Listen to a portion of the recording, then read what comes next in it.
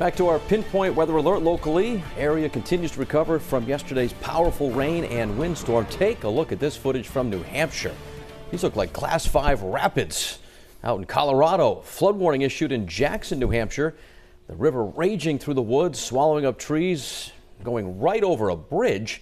National Weather Service says flooding caused by the rain. A little combination here of the rain and the snow melt from some of the mountains Several roads were closed. Several ski areas across New Hampshire and Maine are also closed because of this storm's impact.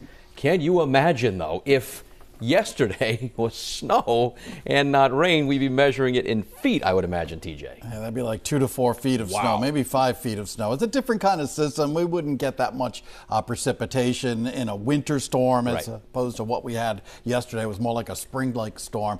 Uh, we're still, yeah, still seeing the impacts from uh, the rain yesterday, especially in the rivers. Let's take a look at the uh, river situation across the area. We are looking at a major flood occurring on the Pawtuxet River. We're not Woonasquatucket down into what we call a moderate flood stage and dropping pretty quickly, which is good news for the folks up there in Smithfield, North Providence, Centredale section, North Providence. Uh, Blackstone River, you're in a moderate flood stage. Same for the Wood River, Pawcatuck River, minor flood stage at the moment. So here's the situation. All the rivers, yeah, we've got major flooding on the Pawtuxet River this morning.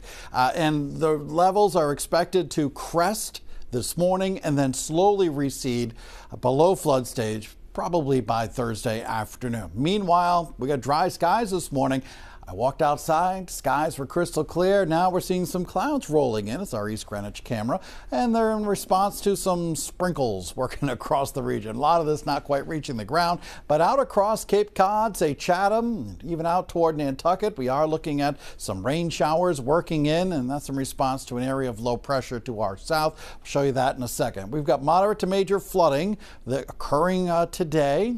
As we take a look at the three key things, fortunately, we're looking at dry skies and the rest of the week, actually right through Christmas, looks quiet. Upper 30s in Smithfield now, 40 in Providence, 41 Newport, 43 in New Bedford. We've got those rain showers out there on the Cape and uh, this little area of low pressure, which has formed along a front that came on through, is going to be zipping out of here as we go through the morning hours. In fact, by 9 a.m., it'll be almost up in Nova Scotia.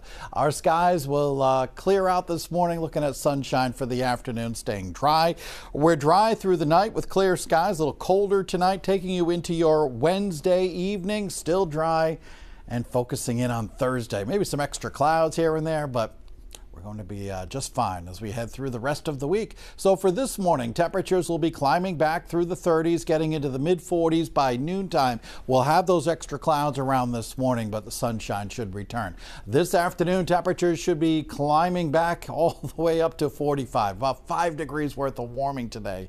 It's going to be a little breezy as well. It'll feel a little bit cooler, likely in the upper 30s at times. The wind chill factor 42 Burrillville, 42 Foster, Johnston, Providence, mid 40s, South Southeastern Mass, Fall River 45 over in New Bedford, topping out mid to upper 40s this afternoon. But overall, not a bad day. Here's your seven day forecast. Now, tomorrow, looking at sunshine around 45 again. Thursday, sunshine a little bit cooler, down to 42. Gets a little bit colder for Friday with highs only around 37 degrees. Weekend looks okay, sunshine.